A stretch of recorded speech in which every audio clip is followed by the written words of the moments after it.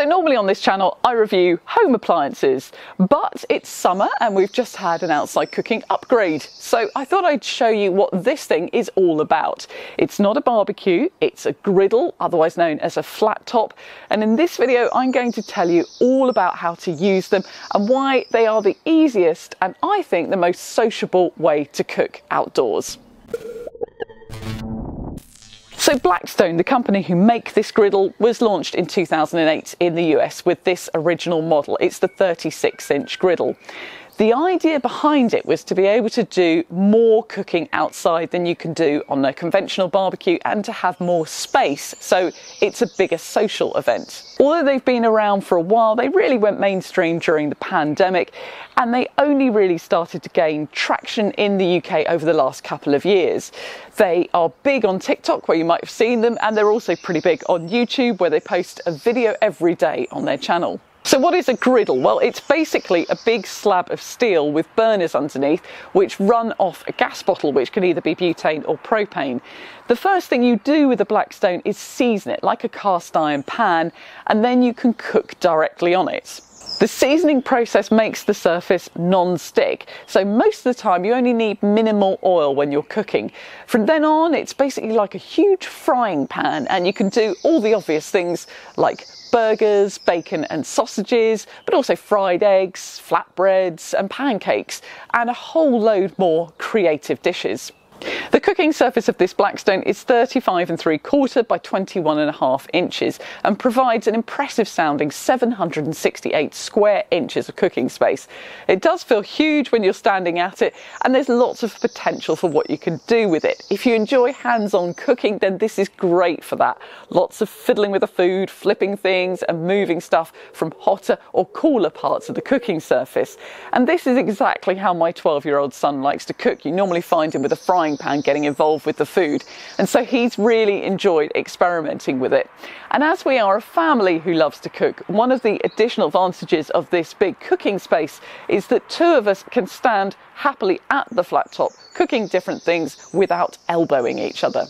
Now, design wise, the manufacturers have spent a lot of time refining this original model, as you would expect, and it's got lots of nice features. Firstly, to manoeuvre it into place, there's a big handle on one side of the unit with two locks on the wheels to keep it put once it's located where you want it to be. It's got a hard cover which can either be removed completely or tipped vertically and stored behind the grill. This cover is though just to protect the flat top when it's not in use and you can't use it as a cover when you're cooking, although there are different versions of this griddle with a hood instead of a hard cover and they are designed for that purpose. On both sides of the cooking surface there are shelves which give you lots of space for plates and supplies. Each shelf has four hanging points for tools or tea towels and the shelves can be folded down so it's easier to store the Blackstone. On the left hand shelf there's a magnetic tool holding strip and on the right there's a kitchen roll holder which folds out and directly under the flat top there's a big shelf for storage too. Now this being something that looks like it could possibly belong in Ken's Mojo Dojo Casa House, there's also a beer bottle opener on the front. They really have thought of everything. Heat for the Blackstone is controlled by four big chunky dials for the different cooking zones which run in a line from front to back. And there's an ignition button on the front too. Cooking surface is slightly angled, so excess oil and bits of food can collect in the drip tray at the back, and you can buy foil liners for that too to help keep everything clean. Now, because of that sloped surface, it does mean that if you want to do pancakes, us Brits are better off with thick American style ones rather than crepes because a thinner batter will tend to run across the surface towards the back, whereas the American ones stay put. We've tried a lot of different foods on the Blackstone over the last few weeks, but cooked English breakfast at the weekend is still our favourite. There's lots of space for sausages, bacon, black pudding, eggs, and your favourite vegetables, and as a result, we have had a more varied fry up. You could buy special egg rings if you want to make your eggs perfectly circular, and in fact, the Blackstone do a huge range of accessories, which also includes a Christmas tree decoration. We're so going to get one of those. If you're worried about cleaning this thing, then it is super easy. You just use water, a metal scraper, and some kitchen paper. In a way, the griddle is just like a pizza stone, so it will change colour the more that you use it, and that's all part of the seasoning process and the badge of honour that you've been using it for a long time. So, the one thing you don't want to do is use chemicals or cleaners which might strip the goodness out of the cooking surface. So, what are the pros and cons of this Blackstone griddle? Starting off with the positives, well, you probably guessed this already, but they are brilliant for parties. Lots of room to stand around it, lots of serving space on the shelves at the side, and with the beer bottle opener on the Blackstone, if you are the chef, you are never going to be short of company at a party. We're actually doing a pancake breakfast party this month for Canada Day, and it wouldn't be possible to cook a big quantity of pancakes in one go without a griddle like this.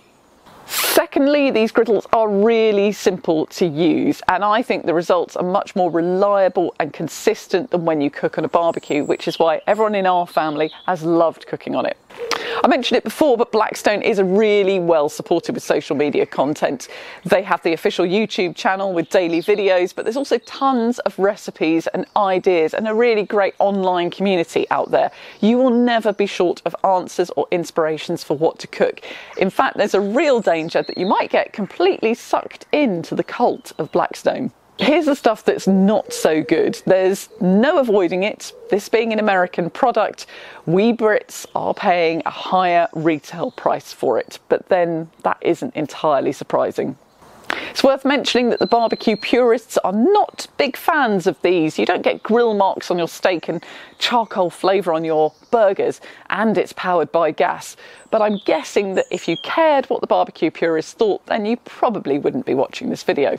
Thirdly, this is a big metal cooker. We live in a damp country, and I have seen comments online about the appearance deteriorating over time which has happened, to be honest, with most of the barbecues that we've owned, even if they've had a cover. Now, I haven't had this long enough to know how it will weather yet, but if there's anything significant to report, I will post an update. And if you have owned one for longer than me and you have any comments, then please do drop them below. I've also mentioned my son loves cooking on this, and it's worth saying that if you have a tween like me or even a careless other half, you do have to be careful that they don't burn themselves on the surface. It's very easy to be fiddling with tools and pressing down too close to the surface and then make contact with your hand. They even have a printed warning about it on the front of the griddle. And one final thing, I did mention that they have a big strong handle on the side and wheels and brakes, etc. But they are a little bit like manoeuvring a shopping trolley. They're not the easiest things to push around. So there you go. Let me know what you think in the comments. And if you want to see more videos about UK home appliances, both indoor and outdoor, I publish weekly. And if you hit subscribe and the notifications button, you will be the first to know when they go live.